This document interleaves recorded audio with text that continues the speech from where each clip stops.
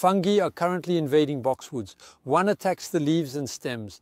The other fungus targets the roots.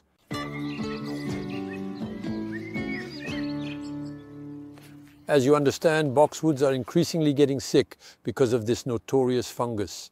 Two fungi, the first fungus, Volutella buxi, actually attacks the roots and dries out the boxwood.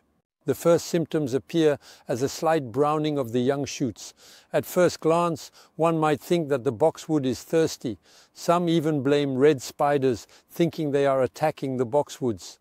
In fact, that is not the case. The other fungus, Cylindrocladium, attacks the leaves and branches of the boxwood. The first symptoms show light spots on the new leaves, surrounded by a reddish color. Then very quickly, the spots merge and the leaves dry up and fall off. The infection spreads when temperatures are between 20 and 30 degrees with a high dose of humidity, such as during stormy weather. The main remedy to combat these two fungi is to avoid excess moisture. It is clearly noticeable that a boxwood planted in clay soil tends to turn yellow.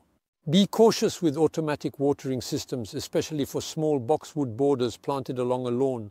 Excess nitrogen also promotes attacks by the two fungi. Prune your boxwood less often, and especially avoid severe pruning, which also promotes the spread of the disease.